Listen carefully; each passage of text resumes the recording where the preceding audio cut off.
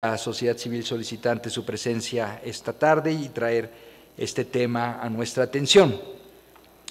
Eh, me acompañan en esta mesa, identifico en primer lugar a la comisionada Margaret May Macaulay, quien es eh, relatora eh, para Estados Unidos y para varios países del Caribe angloparlante. Me acompaña también el comisionado Luis Ernesto Vargas, la secretaria ejecutiva adjunta para el sistema de casos y peticiones Marisol Blanchard eh, y un servidor, eh, soy Joel Hernández, el primer vicepresidente de la comisión y presente aquí en razón de mi carácter de relator para personas privadas de la libertad.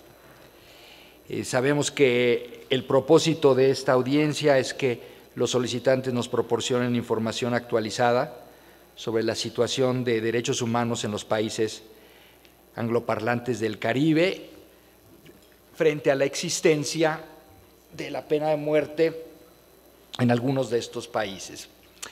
Em, para poder desarrollar esta audiencia vamos a darle hasta 25 minutos a los solicitantes para que presenten sus puntos de vista y posteriormente harán uso de la mesa, uso de la palabra los miembros de esta mesa para conclusiones finales a cargo de ustedes.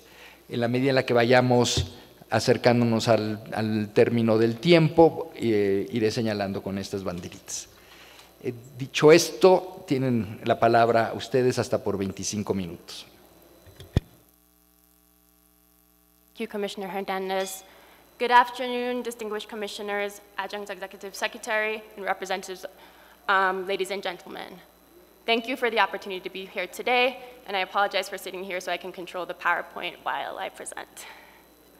In 2010, the European Court expressly declared the death penalty itself to be contrary to the basic dictates of humanity.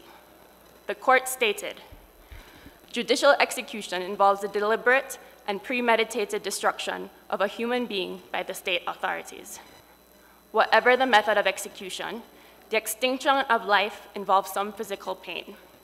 In addition, the foreknowledge of death at the hands of the state must inevitably give rise to intense psychological suffering. Honorable Commissioners, we believe that this statement from the European Court sets the tone for our presentation today, as do these headlines from the last six months across the Caribbean. We are here today to urge the Commission to adopt a similar framework, under the American Convention on Human Rights.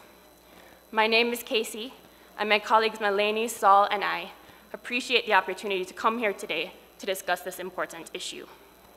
In the year 1996, Lars Dunn Cornwall was sentenced to the mandatory death penalty in Antigua.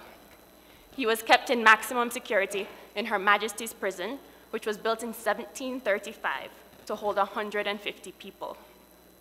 During the time he spent on death row, the prison's population swelled from 170 to 371. On the 20th of January 2000, Mr. Cornwall was read a warrant for his execution.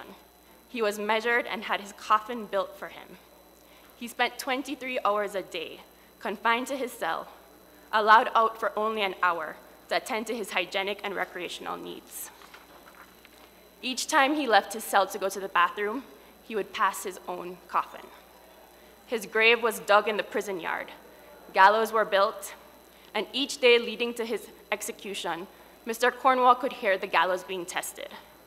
One day before his scheduled execution, a stay was granted by the Judicial Committee of the Privy Council. Fifteen years after he was sentenced to death, Mr. Cornwall's death sentence was declared unconstitutional. An order was made for his resentencing but he was not immediately informed of this order. He would spend another year on death row before he received this notice. In 2016, the Eastern Caribbean Supreme Court resentenced Mr. Cornwall to a term of 30 years imprisonment. Due to time already served, he was released immediately. He had spent a total of 20 years on death row in a maximum security prison under an unconstitutional mandatory death sentence. Honorable Commissioners, we put forward today that Mr. Cornwall's case sums up perfectly the precarious nature of the death penalty in the English-speaking countries of the Caribbean, and it highlights the need for this commission to act. Mr. Cornwall was the last person sentenced to death in Antigua, but the English speaking Caribbean currently has a population of at least 67 persons on death row.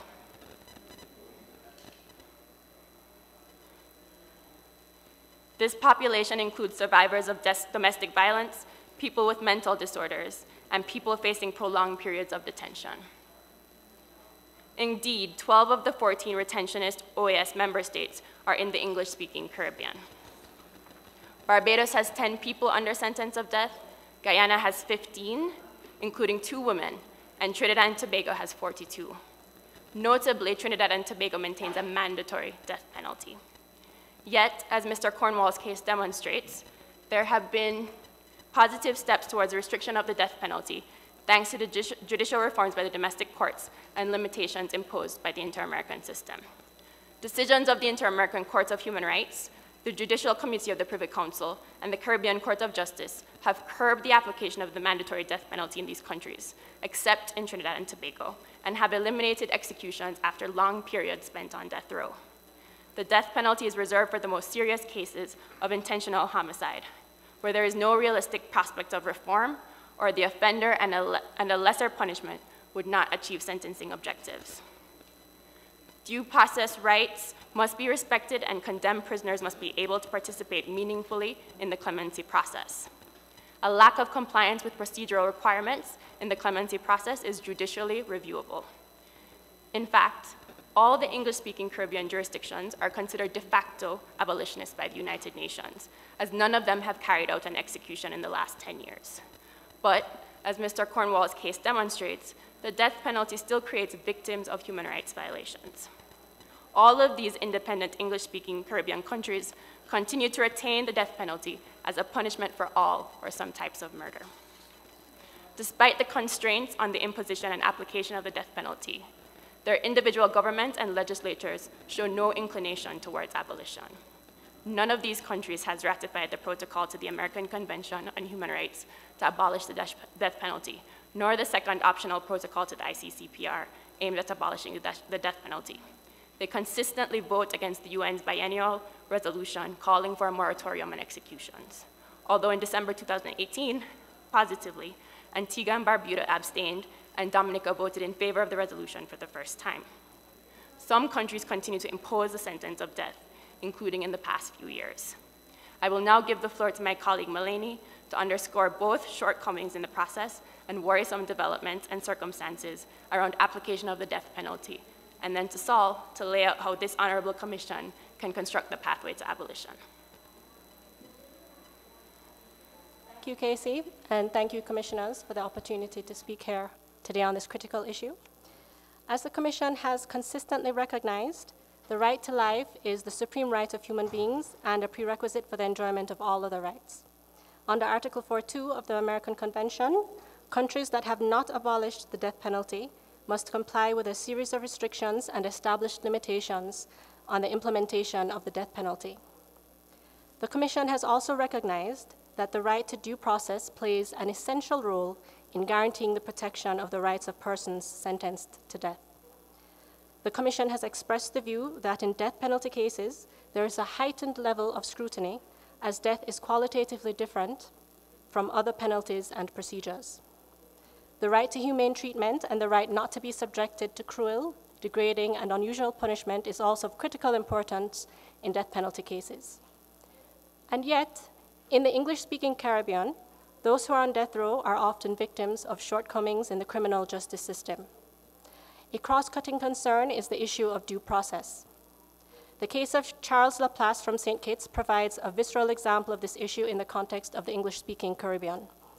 In 2006, Mr. Laplace was sentenced to death for the murder of his wife. In 2008, he was executed following a troubling set of circumstances. First, commissioners the Court of Appeal never considered the substance of his appeal and the safety of his convictions. Rather, they dismissed the appeal on technical grounds for being filed out of time. This, of course, raises serious concerns about the quality and competence of his legal representation. And moreover, he was not provided with the necessary legal assistance to take his case to the Judicial Committee of the Privy Council. Additionally, Commissioners, Mr. Laplace's execution was shrouded in secrecy.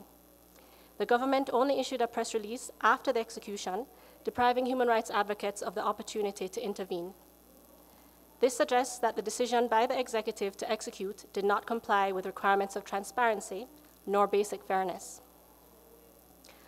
Another major concern is the impact of the death penalty on vulnerable groups, including women, persons with mental disabilities, and those with intersectional identities. As the Commission is already aware, people sentenced to death in the Caribbean are most often the least powerful and most marginalized. Mental health is often a worrying factor, and yet states fail to routinely assess those facing the death penalty for mental health challenges and psychosocial disabilities. The recent case of Jay Chandler illustrates this issue. Mr. Chandler was sentenced to death in Trinidad and Tobago in 2011 for stabbing another prisoner with a homemade knife. He was never assessed by mental health experts prior to his trial, nor his appeal, despite the fact that a subsequent report from a forensic psychiatrist suggests he suffered from episodes of psychosis. He remains on the sentence of death today, even though he has spent more than eight years facing execution. So, Commissioners, this raises another key issue and that is the death row phenomenon, or in other words, the impact of prolonged periods of, deten of, detention on death row. The Judicial Committee of the Privy Council has consistently found that the death row phenomenon amounts to cruel, inhuman, and degrading punishment. The Commission, for its part, has also denounced the death row phenomenon, recognizing that the impact of long term deprivation of liberty on death row includes severe mental trauma and physical deterioration in prisoners under sentence of death. In fact, in the 2017 case of Victor Saldano against the United States, the Commission said the very fact of spending 20 years on death row is excessive and inhuman, and it could also constitute a form of torture. Despite the clarity of these standards, implementation is sporadic at best, with prisoners routinely spending excessive periods on the sentence of death. In Mr. Chandler's case, his prolonged detention for eight years on death row breaches his constitutional rights as set out by the Privy Council and also breaches inter American standards. Another example is the case of Mr. Cornwall, mentioned by my colleague earlier. And after almost 20 years on death row, Mr. Cornwall was informed by prison authorities that he was eligible to be moved from death row to the general population of the prison. But commissioners, Mr. Cornwall declined, stating, the yard is hell. He had become entirely isolated and refused to have any contact with other prisoners. Honorable Commissioners, building on these stories, my final point is that the death penalty is inherently flawed, and we need to move beyond restriction to abolition without delay. The death penalty cannot be effectively restricted any more than has already been done in the English speaking Caribbean. We recognize that active inter intervention by the domestic judiciary and international tribunals have reformed outdated practices. But even a restrictive death penalty that delimits its application and scope still creates human rights victims. A highly selective discretionary system is a step in the, right, in the right direction, but it is a fallacy to suppose that the introduction of judicial discretion can eliminate arbitrariness and inequity in the infliction of the death penalty. No matter how restrictive the guidelines may be, it is impossible to devise a system for administering a discretionary death penalty that will eliminate arbitrary judgments of who among the convicted should be selected as worthy of death. It is often nothing more than a lethal lottery, and those who are sentenced to death and executed are much more likely to be among the least powerful of those convicted of capital murders. An element of subjectivity is inevitable in the decision to pursue the death penalty and in, in, deciding whether it should be imposed and carried out. There are also concerns about the fairness and tra transparency of the clemency process. The standards, again, are clearly defined in domestic and international law, but implementation is erratic, with little evidence of compliance with the procedural requirements of nat nat natural justice or the human rights principles required by the inter American system. Most worryingly, commissioners, subsequently to, subsequent to judicial progress, some countries have taken retrograde measures which further deny effective compliance with the rights embodied in the American Convention. Both Jamaica in 2011 and Barbados in 2002 enacted constitutional measures to prevent challenges to a delay in execution of a death sentence. In addition, both the constitutions of Jamaica and Barbados prevent challenge to the execution of a death sentence because of physical conditions of detention. Honorable Commissioners, the time has come to call for outright abolition as a human rights obligation underlying the spirit and aspiration of the Convention. A new empirical study actually reveals that strength of support for the death penalty is not as entrenched in the English-speaking Caribbean as one would presume. Of 100 high-level opinion leaders interviewed across Barbados and the Eastern Caribbean between 2018 and 19, 52% were personally in favor of the abolition of the death penalty. Regarding the question of public opinion, 76% believed that the abolition of the death penalty would be accepted in time by the majority of citizens once legislation was passed. Now, we know from international experience that perceptions of public opinion cannot lead the debate on the death penalty or justify departure from human rights commitments. Political leadership must be exercised. Notably, a full 70% of those interviewed stated that they would either support legislation brought forward to abolish the death penalty or at least not oppose it. While there has been a clear lack of momentum towards complete abolition across the region, this passivity is not reflective of any significant op opposition to, ab to, abolition, but rather a reluctance to, the question, um, to question the status quo. And this is where the Honorable Commission can play a pivotal role. Albeit currently lacking a collective regional voice pushing for abolition, with the appropriate encouragement and guidance from the Honorable Commission, could precipitate a major step towards the final removal of capital punishment from the region. Commissioners, I now turn things over to my colleague Saul, who will set out how the Commission can build on existing positive state practice and growing public support to lead this collective voice and join its peer human rights bodies in making abolition a human rights objective in itself. Thank you. Thank you, Melanie, uh, distinguished commissioners. As my colleagues have established, the Commission's position in favour of abolition of the death penalty has always been clear and consistent, and this matches the growing and unmistakable international trend towards the abolition of the death penalty. Around 160 countries in the world have today either abolished the death penalty in law, introduced a moratorium, or do not practice it.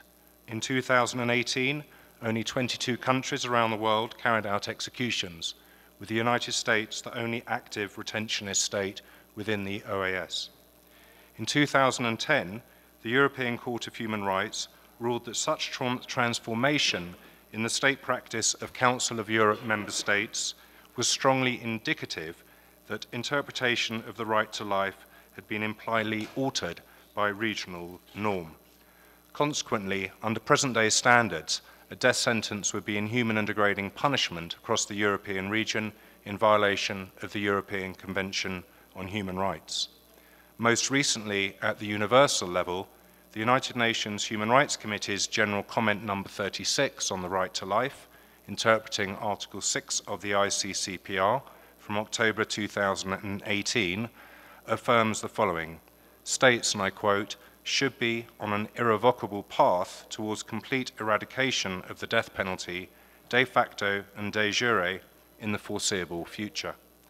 Further, the Human Rights Committee stressed that the death penalty cannot be reconciled with full respect for the right to life and that abolition of the death penalty is desirable and necessary for the enhancement of human dignity and the progressive development of human rights. The committee recognized that the increasing number of abolitionist states, as well as non-abolitionist states who have introduced a de facto moratorium on the exercise of the death penalty, and I quote again, suggests that considerable progress may have been made towards establishing an agreement between state parties to consider the death penalty as a cruel, inhuman, and degrading form of punishment. In the Americas, we remind the Commission that Article 44.2 of the American Convention was never intended to justify the permanent retention of the death penalty. In the 1983 advisory opinion on restrictions to the death penalty, the Inter-American Court explained that the gradual disappearance of the death penalty accords with the spirit and purposes underlying both the American Declaration and the American Convention. Between 1983 and 2012, when this Honourable Commission released its report on the death penalty in the inter-American system, seven OAS member states had abolished the death penalty. Since the Commission's reminder in its report that the ultimate objective is, is the abolition of the death penalty within the inter-American system, Bolivia in 2013 and Suriname in 2015 abolished the death penalty for all crimes. Guatemala abolished the death penalty for ordinary crimes in 2017. This shows that the inter-American system's efforts towards abolition are clearly working. Now, for the first time, a minority of 14 OAS me member states retain the death penalty. Interestingly, 12 of them are in the English-speaking Caribbean, and they are all regarded by the United Nations as abolitionists de facto. The only actively executing OAS member state is the United States, and this year they have carried out 17 executions, but this is confined to seven retentionist states and is not representative of a countrywide practice. The right to life in Article 6 of the Covenant, while similar to Article 4, contains an additional provision in paragraph 6. This states that nothing in this article shall be, shall be invoked to delay or to prevent the abolition of capital punishment by any state party to the present covenant. The Human Rights Committee's recent general comment gives guidance on the interpretation of Article 6.6, reaffirming the pro-abolitionist spirit of the covenant. This Honourable Commission consistently recognises the relevance of the committee's guidance and shares a similar standpoint towards eradicating the use of capital punishment within the inter-American system. In this case, it is particularly pertinent since OAS retentionist states have ratified the ICCPR at a higher rate than the American Convention. As the Inter-American Court of Human Rights stated in its groundbreaking 2017 opinion on gender identity, equality, and non-discrimination with regard to same-sex couples, I quote, human rights treaties are live instruments whose interpretation has to accompany the evolution of the times and life's current conditions. The court went on to state that the American Convention must be interpreted in light most favorable to the person and to the evolution of fundamental rights in contemporary international law. As reflected in the approach of the European Court of Human Rights in declaring the death penalty tantamount to inhuman and degrading treatment and punishment, so too must the issue of the abolition of the death penalty within the inter-American system evolve with the times. Human rights obligations must catch up to regional and international norms. This Commission has a real opportunity to help advance a regional trend towards abolition in English-speaking Caribbean countries, the largest cohort of OAS retentionist states, by pushing those countries for abolition without delay or exception. Accordingly, we would respectfully request the following recommendations to be made by this distinguished commission.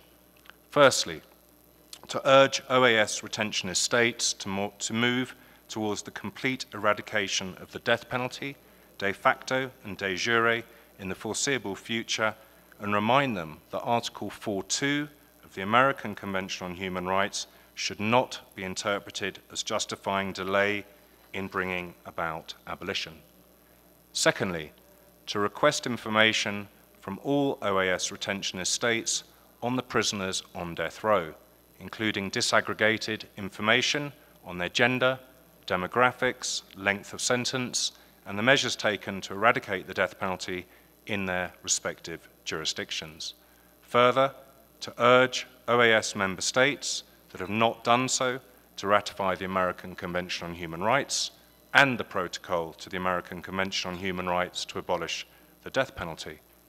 We would also urge the Commission to conduct a fact-finding visit to the places of detention which house prisoners on death row, namely in Barbados, Guyana, and Trinidad and Tobago, so that this Commission can gather testimonies on the conditions of detention for death row prisoners. Importantly, we would urge this Commission to request a new advisory opinion to the Inter-American Court of Human Rights as established in Article 64.1 of the American Convention on Human Rights on the contemporary current meaning of Article 4.2 of the American Convention on Human Rights particularly in light of developments in the universal human rights system. We would also urge this Honourable Commission to engage with the UN Office of the High Commissioner for Human Rights with a view to taking joint action with UN human rights me mechanisms to promote the eradication of the death penalty in OAS retentionist states, including by way of a joint declaration on the normative framework governing the application of the death penalty. And finally, Honourable Commission, we would ask that the information presented today be included in the information presented in this Commission's annual report. Uh, we thank you very much. Thank you so much to all speakers for bringing this matter to the attention of this commission. It's, is uh, of uh, utmost importance that we take uh, more steps forward in order to advance to the abolition of the penalty in the continent. And I want to begin with uh, Commissioner Macaulay, if she allows me.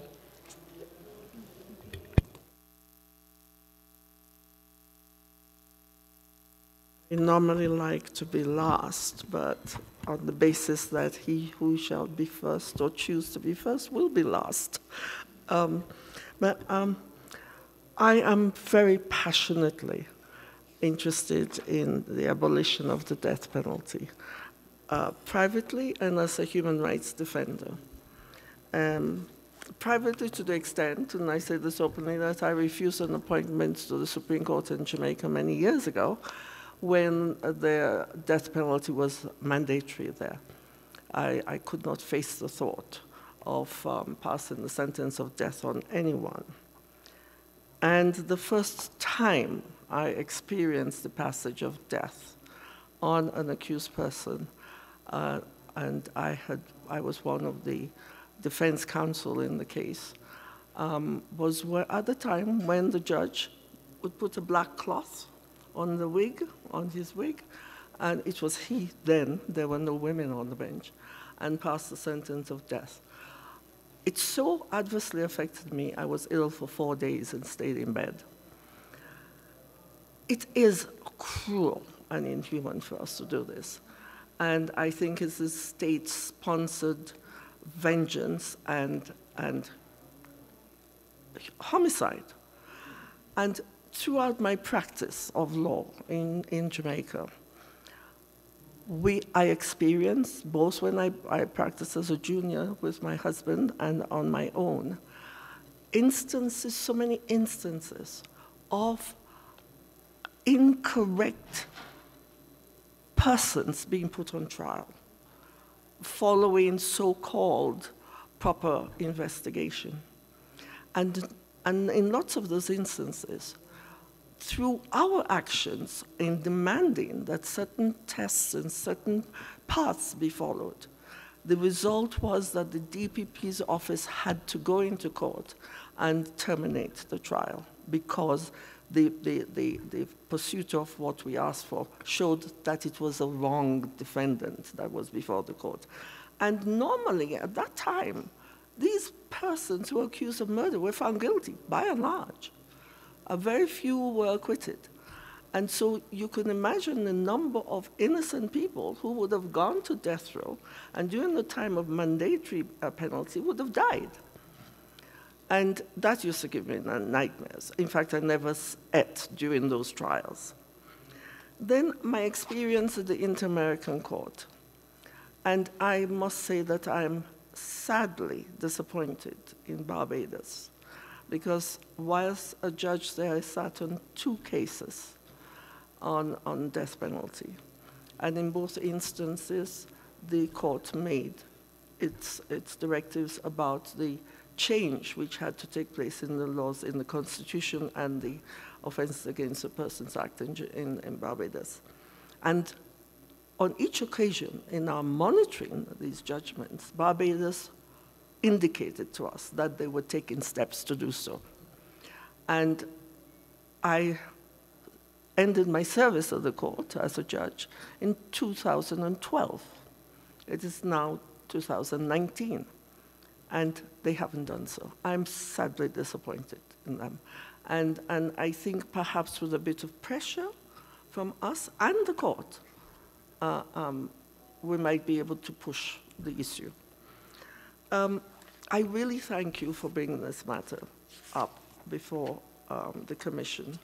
And I, I do agree with you that we can help a great deal and that the visits you suggest would be very effective for us to go, especially rapporteur um, for persons deprived of liberty, to go and visit those prisons where these people are kept uh, um, and use that um, in our recommendations um, about lifting the death penalty. And also there is the, the system of clemency, which the court held when I was there, was insufficient in the sense that we cannot say that it's a legal process. The, the, the condemned person, well, mostly in Jamaica it was men, the condemned person is not there, has to send their, their, their applications and petition by writing. It is made up of some retired judicial persons and lawyers, um, but it, it is a, a group of mixed peoples. Some of them wouldn't even understand the, the records of the trial. And they come to a decision whether they should proceed with the execution or not. Um, so these, these um, clemency hearings were, as far as I was concerned, egregious acts.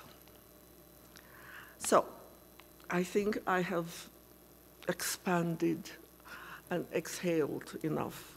So I give my uh, other colleagues time to say something. Thank you, Commissioner. Eh, Comisionado Vargas. Muchas gracias, presidente. Y gracias a ustedes también por traer el tema. Desde entrada podríamos advertir o decir, afirmar tajantemente que nosotros estamos en contra de manera muy radical contra esta pena capital, que nos parece obviamente que es simple y llanamente la expresión más clara del atentado contra el derecho principal de los derechos humanos, que es el derecho a la vida. Cada vez que nosotros tenemos que trabajar para hacer informes de fondo sobre temas como el corredor de la muerte, enfrentamos casos más dramáticos. Uno ya no sabe sinceramente qué pensar. Y estoy hablando de casos que se dan, por ejemplo, en Estados Unidos, donde el debido proceso se convierte en un remedo de justicia. Cuando se quiere perseguir a alguien porque es afro o porque es latino, eh, incluso hay personas que de otras nacionalidades, incluso ingleses, como estuvimos viendo recientemente, em, que son sometidos a ese corredor de la muerte que es también otra expresión contundente de lo que es un trato cruel, inhumano, degradante, pasar tantos meses humillado, sometido y en espera simplemente, como ustedes han dicho aquí, como haciendo, es decir, pasando por su ataúd permanentemente, por lo que va a ser su féretro permanentemente. Y el caso de la Plaza que tú has traído a colación, en el que se puso sobre el tapete una especie de tensión para mí imposible de derechos. Tú has referido el tema de los términos judiciales. Es decir, le dijeron que estaba por fuera de términos y por eso no le aceptaron un recurso. Y recientemente, porque estábamos ahorita en la audiencia, justamente en la pasada, llevé un caso a nombre de la Comisión ante la Corte Interamericana, el caso de Azul Rojas, en el que la Corte tiene que pronunciarse sobre qué prevalece más. Repito, en una tensión que para mí es absolutamente inadmisible, que se crea que ahí debe haber una tensión. ¿Qué prevalece más, el término judicial o los derechos humanos? Eso es una tensión inadmisible.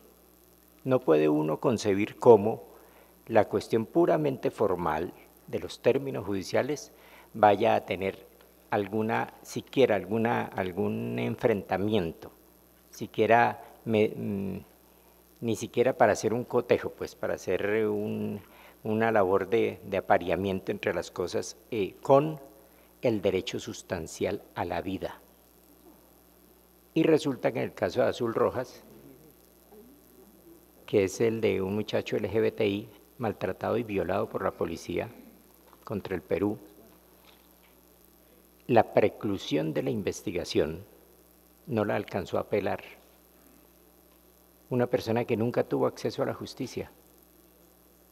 Y cuando quiso apelar, entonces no, ayer se le había vencido el término. Y entonces ante, ante los jueces, y qué pena porque pues, la verdad es que me, parecía terrible que alguien dijera, bueno, pero, pero si no apeló, ¿qué, ¿qué vamos a hacer? De verdad yo casi que me daban ganas de decir, bueno, yo, perdóname, yo de esto sí sé, si quiere lo discutimos aquí en plena audiencia el tema de las cuestiones meramente formales como los términos versus la prevalencia del derecho sustancial, porque eso es lo que debería ser el derecho procesal, no el derecho procesal de las formas, de los procedimentalismos, ¿eh? que es la manera más eh, fácil de violar derechos. Y mm, pues yo aspiraría a que la Corte tome una decisión eh, sustancial en el caso, pero el, el tema este de la plaza me haría pensar en eso, si realmente la prevalencia de los, mm, de los términos judiciales puede realmente darse sobre los derechos humanos y sobre los derechos fundamentales. Eh, no, no son mm, casos que tengan que ver con el Caribe y en ese sentido pues Margaret es la especialista porque ella es la que, la que pertenece a, uno de esos países que ustedes han traído a colación, pero también he conocido casos muy, muy graves de Guatemala, en los que tuve que llevar a nombre de la comisión casos en los cuales unos muchachos se les castigaba en mi criterio el delito de haber nacido pobres.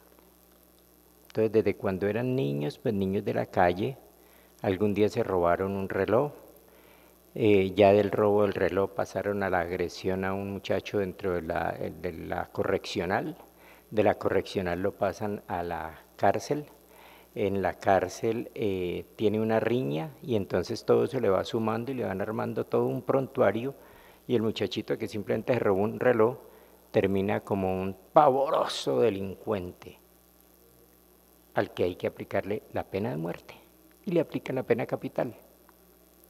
Y cuando finalmente se logra, con decisión de la Corte Interamericana, que, se, que, Guatemala tenga que abolir la pena de muerte, entonces le aplican una ley de fuga y los asesinaron finalmente. Estoy hablando de muchísimos casos que se dieron, tres o cuatro de los cuales pude llevar ante la Corte.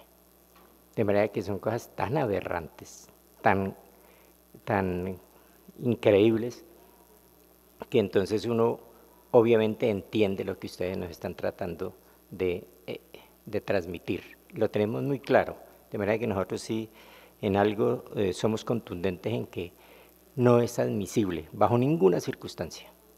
El derecho penal no lo admitiría, un derecho penal liberal, un derecho penal democrático, no admitiría nunca que exista la posibilidad de que haya pena de muerte y por ende que sí tiene que ser abolida en los, en los países eh, del Caribe. Mm, me agradaría simplemente para, para poder salir eh, y darle la, la, opinión a ustedes, salir digo del tiempo nuestro, eh, de Margarita y el mío porque falta el presidente, sería mm, que nos dijeran si ustedes tienen el registro de personas que tengan en este momento condena a pena de muerte en esos países. Y segundo, si hay alguna política pública de alguno de estos países tendiente a proscribirla, como para que cuando hagamos el balance final de lo que son los estados, podamos consignar alguna buena práctica en ese sentido en alguno de los países del Caribe. Muchas gracias, presidente. Gracias, comisionado. I will make an effort to speak in English to get closer to my brothers and sisters of the English-speaking Caribbean on a matter which is uh, very close to my heart. I am a convinced uh, abolitionist. And uh, the same as my colleagues. And I think uh, everybody in the Commission is against the death penalty because it, that goes against the, the, the, right of life. And as uh, Commissioner Vargas has just mentioned, any democratic society should, be, should get rid of the death penalty. That social, a, a, democracy is not consistent with the mere existence of the, death, of the death penalty. And I don't have to go into detail because that's part of your work and uh, it's part of your research and there are some uh, other international organizations. You mentioned uh, a decision by the European Court of Human Rights and we know that uh, one prerequisite to be member of the European Union is to abolish the death penalty. That's, that goes to, to the highest level of principles in the, in, in the European Union because exactly that runs contrary to the right of life. I want to, to, to thank you for the information you have brought to our attention. Uh, this document, this file that you have uh, put before us is very helpful. Uh, we, explain, we listened very carefully to the explanation made. But to, to be very honest, uh, this is the first time I see something so well done and with so uh, updated information. I was not aware, for instance, of the high number of people on that road in Trinidad and Tobago.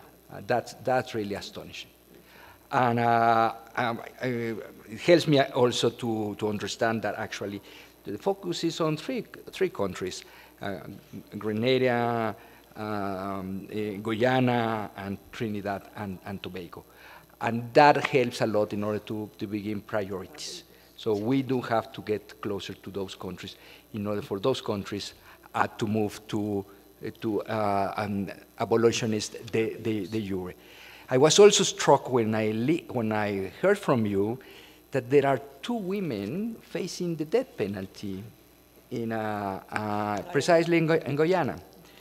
And, I, and I'm, I'm, also wondering if any of the people on death row uh, is suffering any kind of a mental disability, because that will also run contrary to, to, the, to the very basic principles on this matter. I, I, I, I am convinced that death penalty, and no matter how, what the method of execution is, is runs against international law. However, we do have to protect those which are more vulnerable, like, like women who are now in, uh, in death row in Guyana, but I would also wonder if there's someone who's suffering of, uh, of, of um, uh, mental disabilities, or probably someone who, who committed the crime when he or she was a minor, which is also an, an, a, a, matter in order to, be, to, to, to run a special concern.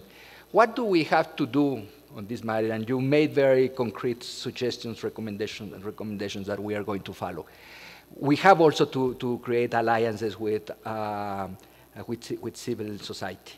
Uh, the NGOs working on death penalty have done a lot of uh, a great work, and I attach great importance to the work that you have done, for instance, in the U.S., in order to, in order to, to, to, to lobby at the state level uh, for those uh, uh, states in the American Union to become abolitionists. There is a, a great deal to, to, to be recognized to the work done by, by, by NGOs. So the first thing that we have to do uh, precisely is to work with you, with NGOs on this, on this matter.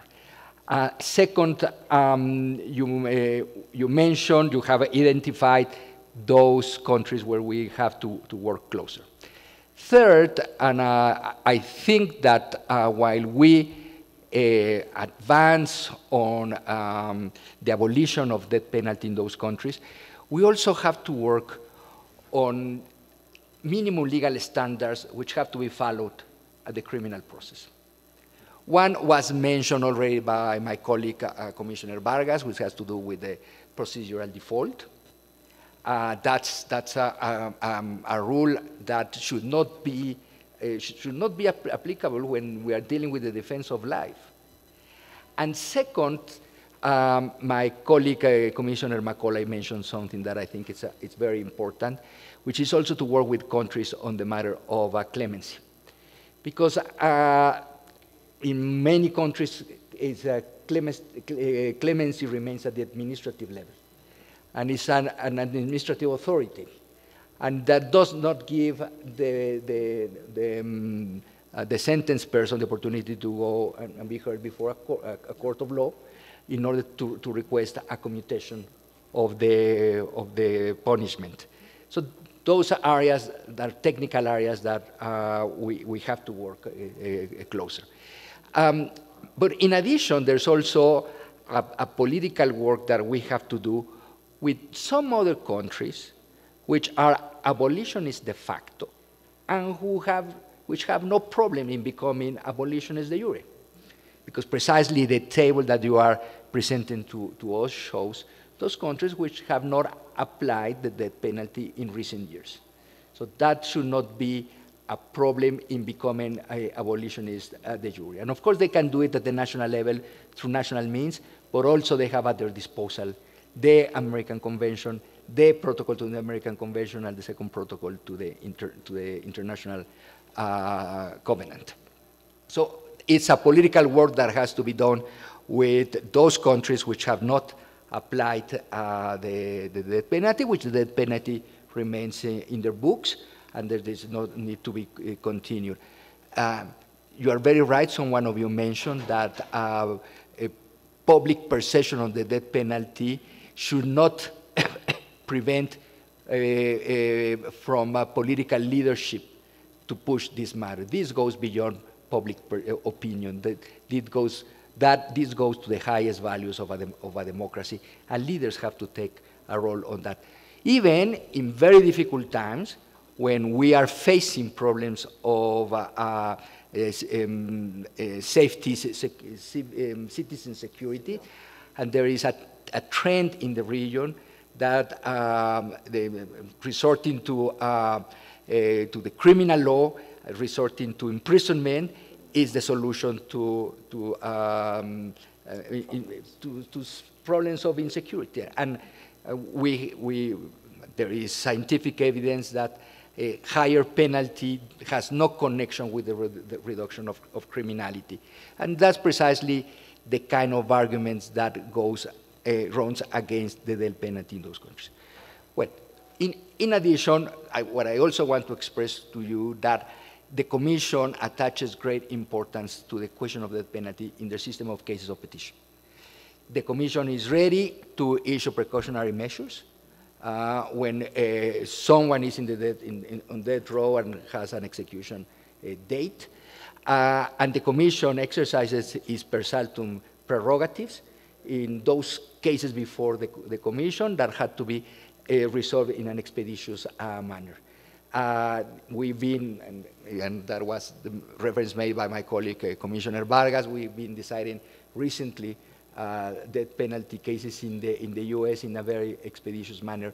And, and the Commission has discussed this matter, and now our um, um, uh, merit reports are advancing in the formulation of recommendations, which, in our view, will contribute to the emergence of a rule of international customary law prohibiting the death, the death penalty. We are uh, working on that direction, simply exactly the same direction of the European Court.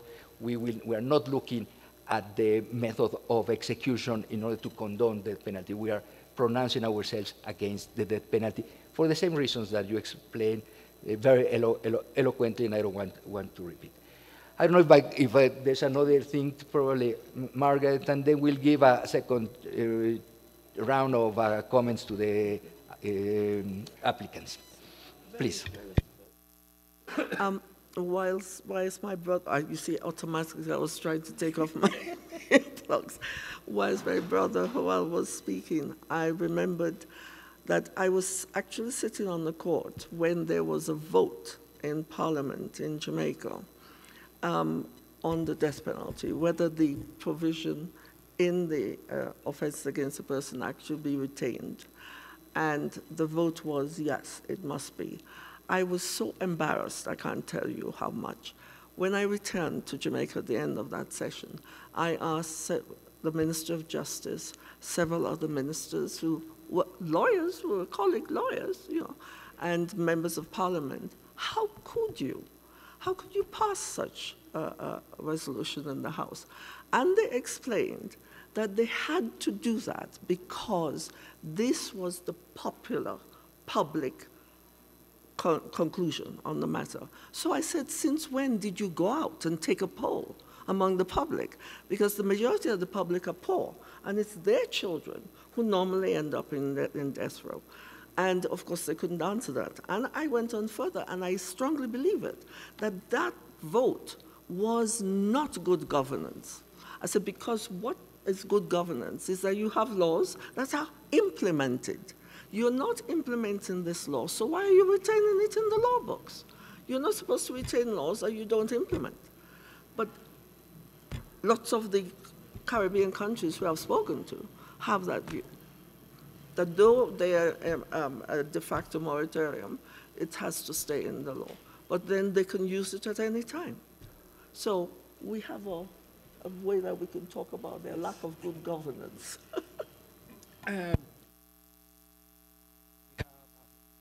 We have five last minutes at your disposal if you want to, to make final comments.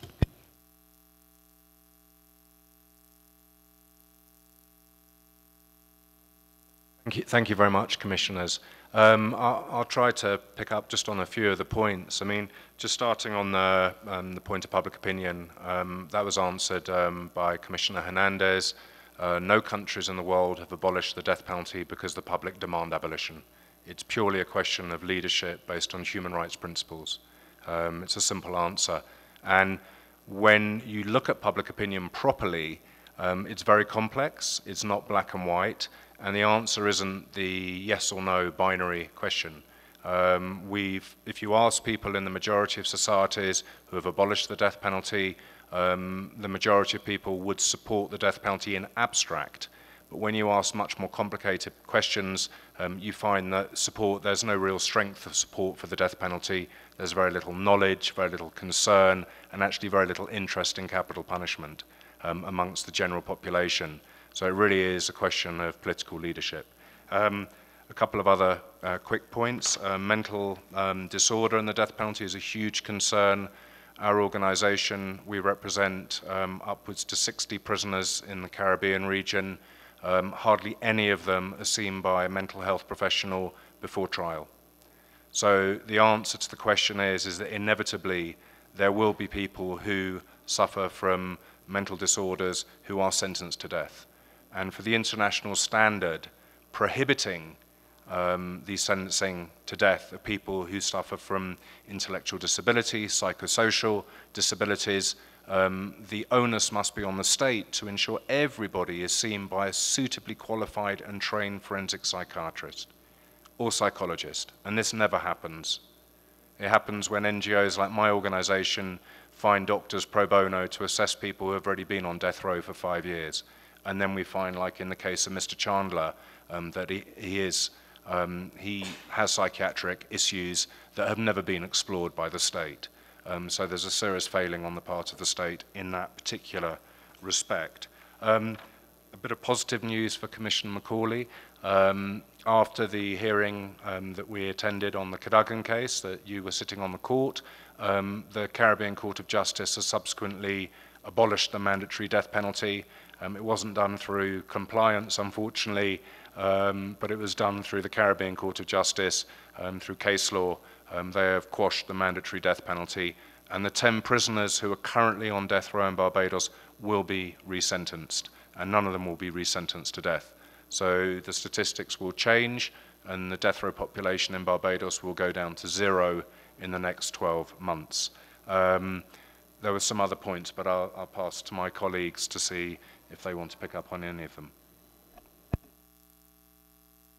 Have three minutes. Thank you very much, Commissioners, for your, for your comments. Um, I believe you had a question on um, vulnerable persons on death row, and for this, this is an issue of crucial importance. Um, for persons with mental disabilities, I think the issue is general in that um, there isn't a good practice of um, recognizing persons with mental disabilities, and this starts from as early as the court.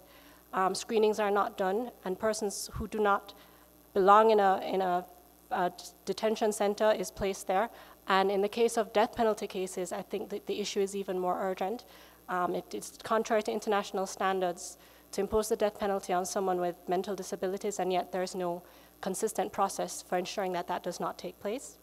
Um, on the question of women, uh, there are women on death row, and um, Saul's organization has worked with women, um, including those uh, experiencing domestic violence. Um, and this is an, a crucial issue because often they represent intersectional identities where their gender also inter- intersects with um, socioeconomic disadvantage as well. Um, and on this basis, that's why we have um, requested that the Commission request information from states um, for disaggregated data on the, on the death row um, population to understand the vulnerabilities that exist. Thanks. Just one final comment. We're happy to follow up with the commission in writing with more details about the women who are on death row in Guyana, the public opinion poll that Saul mentioned, which will be out in December of this year. And we can definitely provide up-to-date information, which is very helpful as we continue this conversation. Thank you very much for the opportunity. Terrific. Thank you so much. The, the fight continues. And please count on us. Muchas gracias a todos los asistentes. Esta ha sido la última audiencia de nuestro 174 periodo de sesiones. Agradecemos mucho que nos hayan acompañado, tanto presencialmente como aquellos que lo hicieron por el webcast.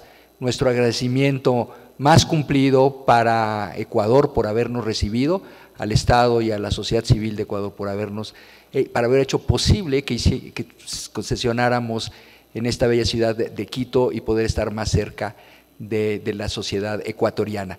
Quiero por último agradecer a los intérpretes que nos acompañaron en estas sesiones, han hecho un gran trabajo, a los técnicos, a los oficiales de sala y desde luego a mis queridos colegas de la Secretaría Ejecutiva de la Comisión Interamericana. Para aquellos que regresan a casa, que tengan muy buen viaje. Las audiencias han terminado.